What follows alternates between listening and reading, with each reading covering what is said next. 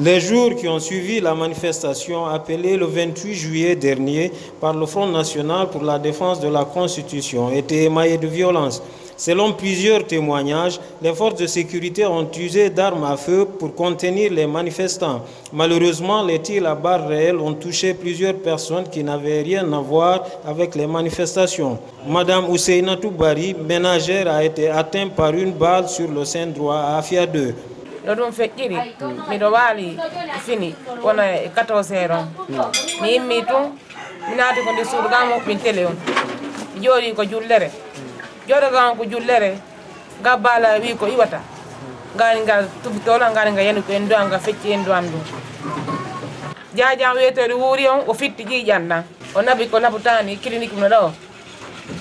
o men yeehi ɓe yiɗi on defteñi ɓenni ko ɗum waɗi mo ɓenni hakko balanaɗo ko endu makko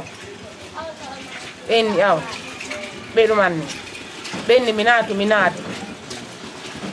ɓe mi waali ɓe ndaari o ɗannini o manni o piki endu ndun haa ndu tiwri o fecci o woppori o gerde mum haa sukural ngal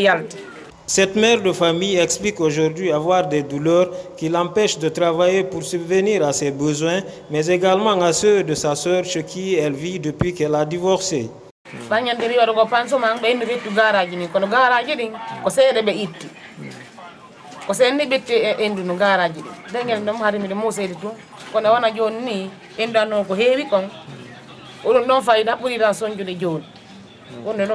Cukkita e nder ton ɗan